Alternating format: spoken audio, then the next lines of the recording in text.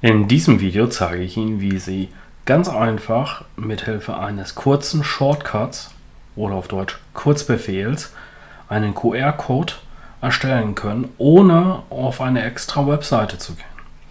Dafür suchen Sie zunächst Kurzbefehle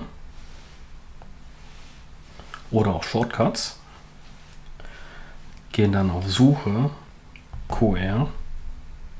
Dort wird bereits ein QR-Code erstellen Shortcut angezeigt. Den können Sie ganz einfach hinzufügen.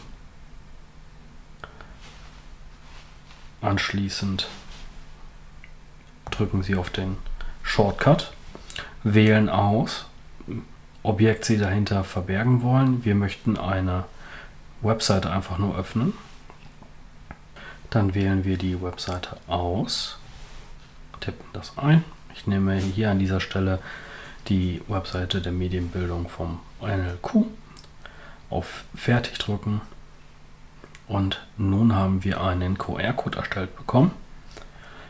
Und mit diesem QR-Code können Sie nach Belieben weiter agieren. Unter anderem über den Share,